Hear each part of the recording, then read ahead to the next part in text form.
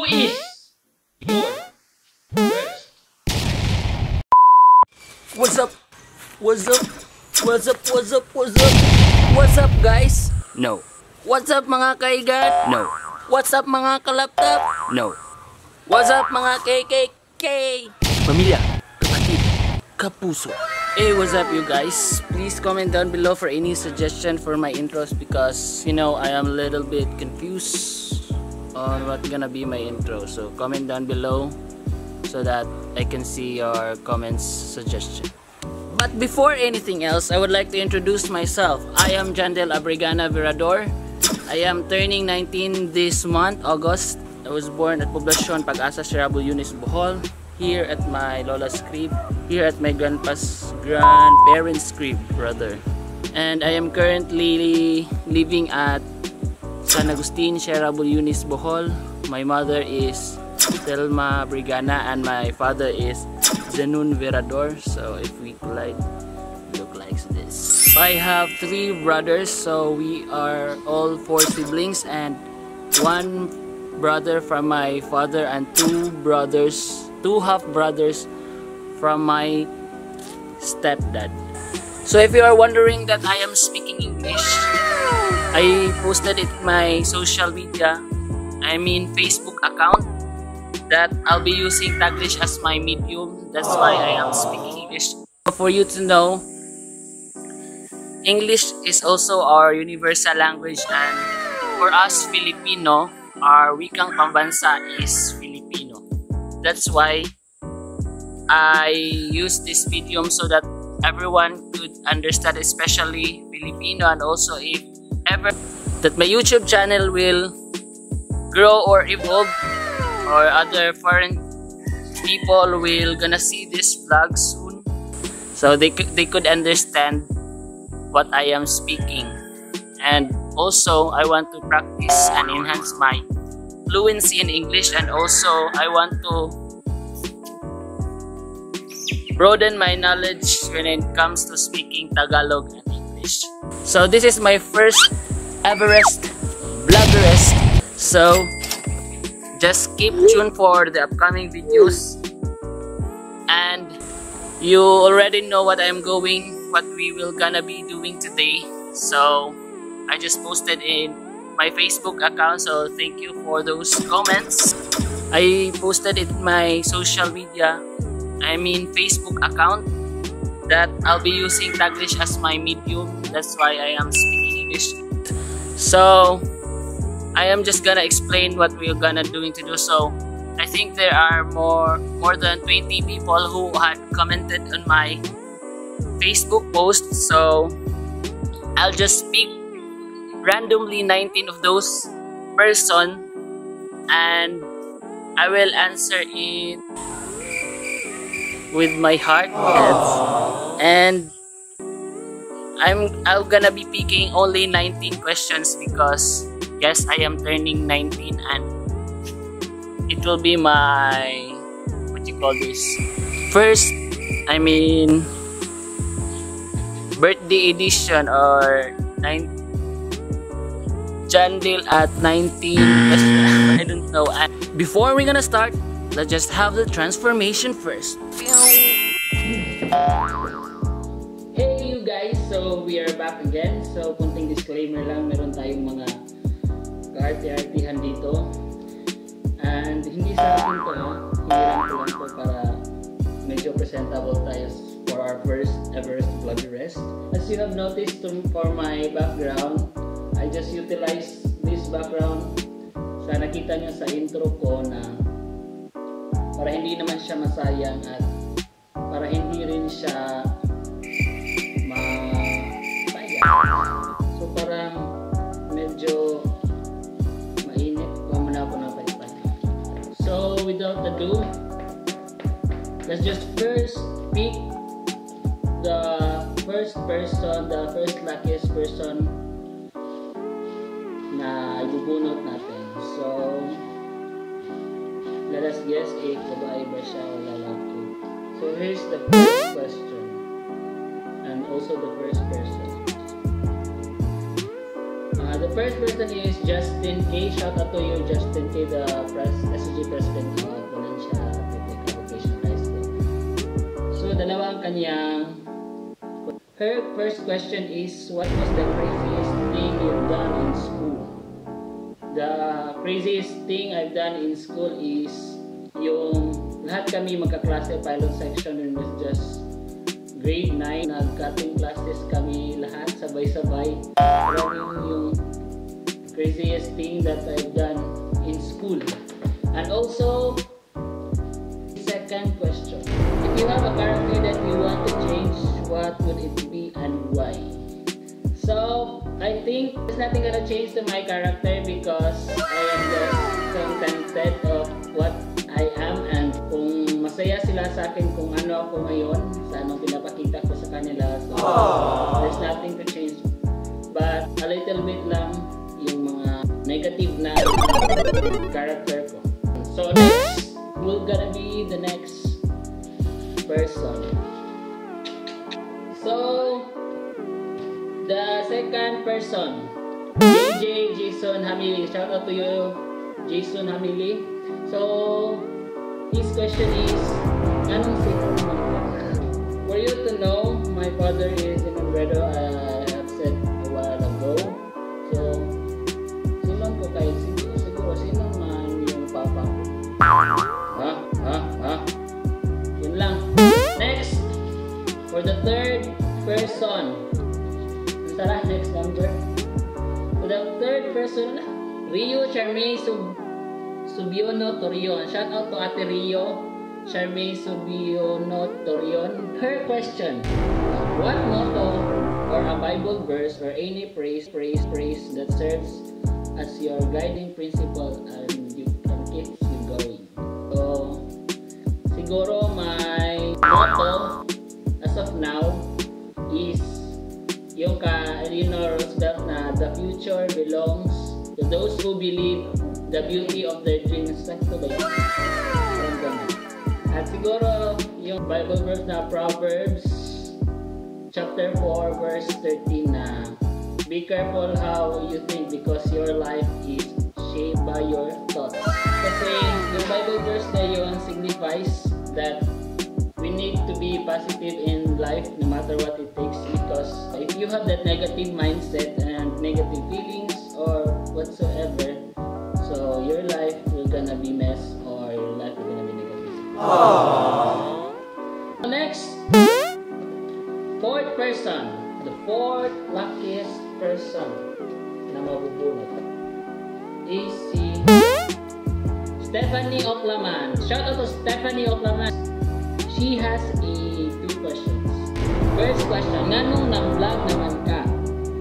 Okay, nag-vlog na ko because I just got inspired to those Filipino vlogger. Dahil kahit may kagaguhan o or there is an insane or craziest things that they have done in their vlog but as well they have been inspired millions of, of their subscribers and also the first reason why I am doing vlog because I want also to improve my editing skills because as you all know guys I love filming and editing back since when we are grade 9 proceed to her next question. Nga nung kay kuya.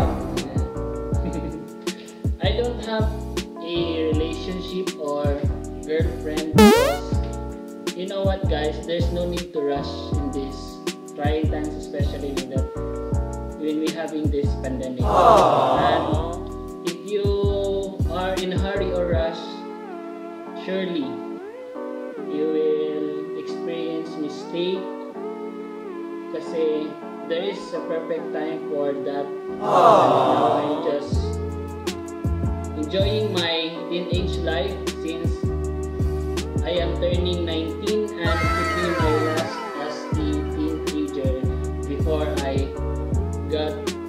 to 20. Next, next person. Fifth question. Goes to Ginger Dagoplo Baha Kadilinya. Shout out to Ginger Dagoplo Baha Kadilinya. Her question is, anong jamo kaya? So, same question as Stephanie Oclaman. So, I have just already answered it. So, that's the reason proud guys na I don't have any first girlfriend sa entire life ko. Kahit ngayon mag 919 ako wala pa akong girlfriend guys. Yan yung tandaan. Hindi dapat tayo nagmamadali kasi yung pagmamadali minsan magkakaroon tayo ng mistake dyan. Yun. Next question for the sixth person. We're gonna be Joven Gaon. Shout out to Joven Gaon. His question is, ano po ang kailangan gawin para maging isang magaling na mananayaw katulad mo po, Char? As you all know guys, I am a proud member of our dance troupe in our school. Ngayon Teatro Mulawanon Dance Troupe. And shout out to the Teatro Mulawanon dance troupe members and dancers there. In this question, Joby, you need to practice because as others says, practice makes perfect and it is really proven that if you really practice, you can make things perfect because sa practice kasi, dun mo malaman na yung mga paano-paano pang maging technique sa gagawin mong pagsasayaw at of this modern world, we have also the access, we have the YouTubes and all other social media na mapapagpilian mo para sa iyong gustong sasayawin at sa kailangan. Yun. Next, for the seventh question. Speak first. Seven question. The seventh question. In personal. Angeline Agunod. Shout out to you, Angeline Agunod. Your question is, anong lahigang kay ka? As their classmate, they have noticed that I have do my, do my, do my, do my best in all my projects and everything that I do because you know what guys?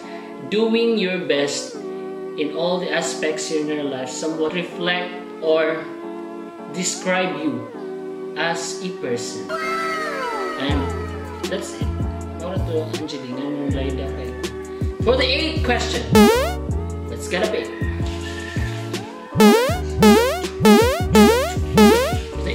question you are lucky today Elgin Vic Montesilio. Shout out to you, Elgin Vic Montesilio, Dudong Elgin. Your question is fame or fortune? Fortune, fortune na bulaklak. I would not rather choose between the two, fame or fortune, because these two are just temporary. And you know, it cannot last longer because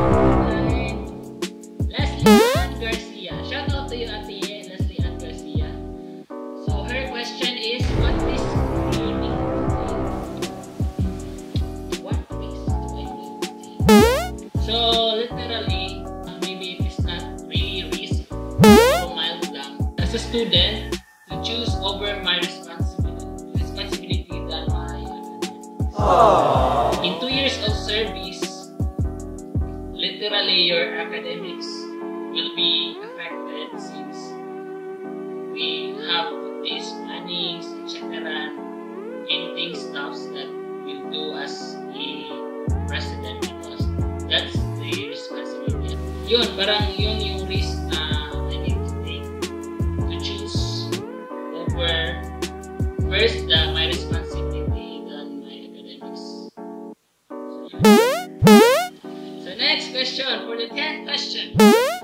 We are down to 10th question. So, Jose Rebecca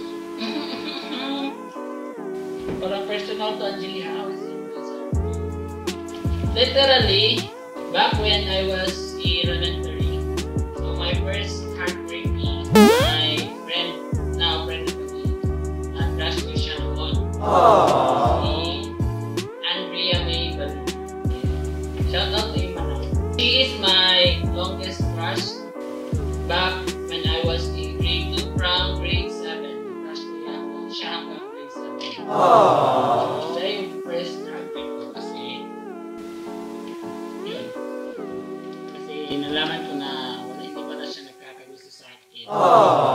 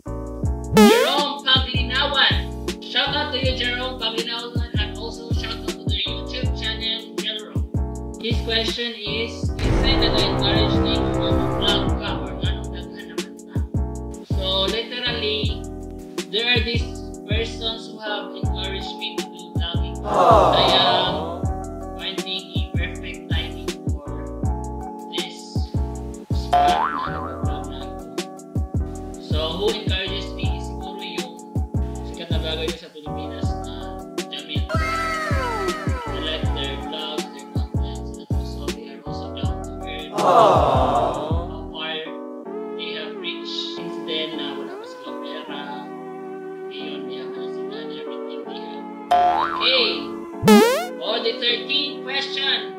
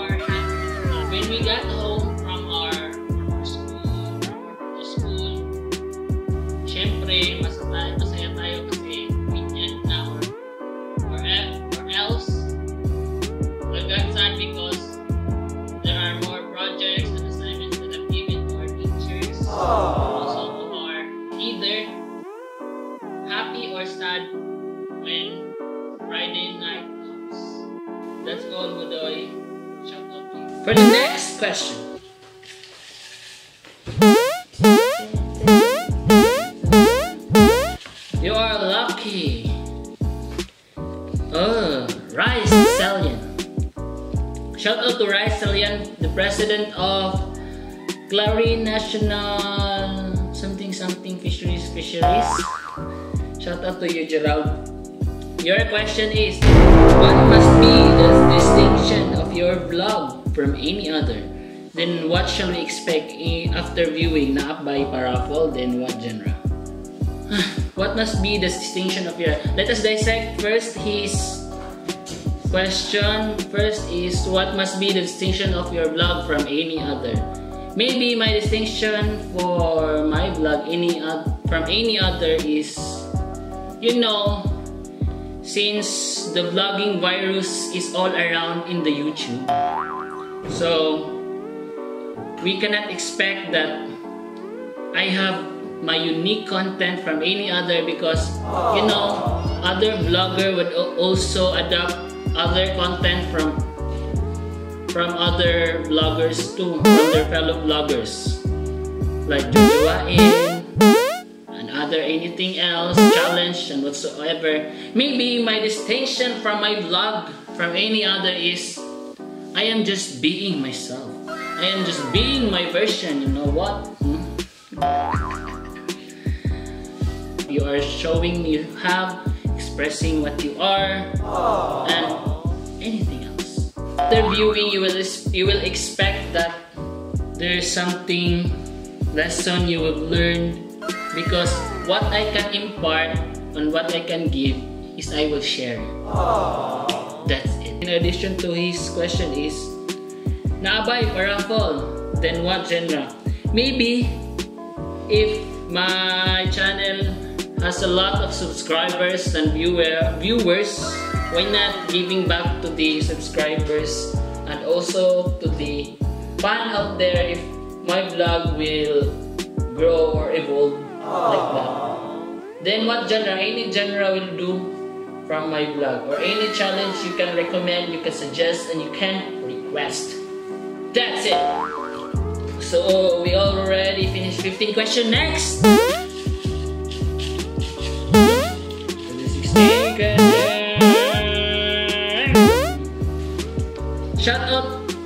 Louis Gerson Galolo and also to the to his YouTube channel LGG and also to his G Farm.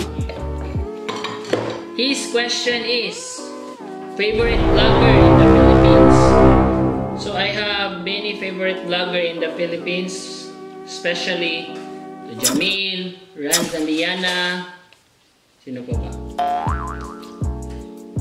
Yung late Oliver Austria or Leon Austria, yung architect. And to Ivana Alawi, Ivana Alawi. And Zainab, marami pa. Marami, maraming mga favorite vlogger ko dito sa Philippines. So that's it. So the question goes to Lord Anthony Lumay. Shout out to Lord Anthony Lumay. His question is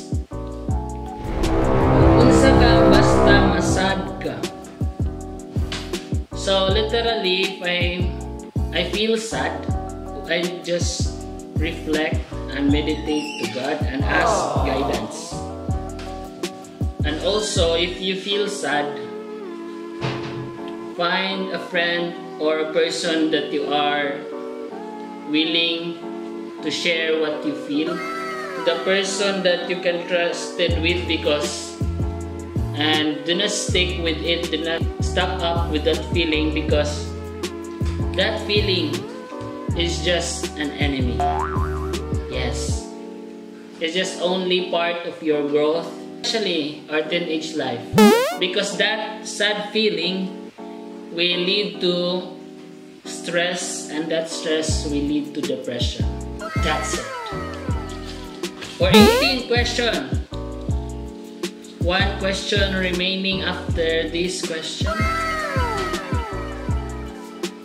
So 18 question goes to Jemin Makalam. Shout out to Jemin Makalam and shout out to the his YouTube channel and also the YouTube channel uh, Cheryl Eunice Tabines his question is why do you enter the world of YouTube and who inspired you? I think I already answered this question and in addition to my answer, I entered the world of YouTube because I got notified from a teacher, also a vlogger, shout out to Mom Rep, na for the next year, the requirement so that you can be monetized by the YouTube is you need to get a lot of subscriber subscribers. I think 10 10,000 subscribers, correct me if I'm wrong, and also to their watch hours. Parang tataasan na nila yung requirements sa YouTube para ma-monetize. And next, for the last question, you're the luckiest. You're the, you're the luckiest. For the lucky last. Here's the question.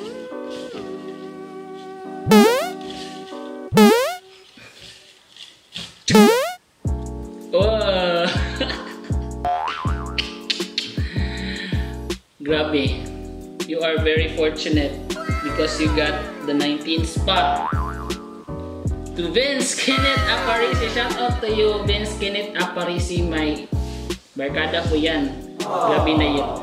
His question is, sure na din ka na mag-type na ba yun?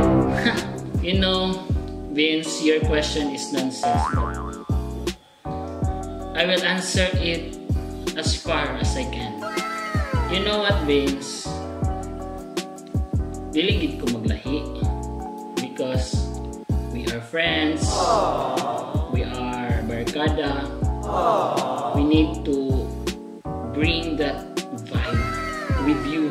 With you, may mga bar, the barkads there. You know?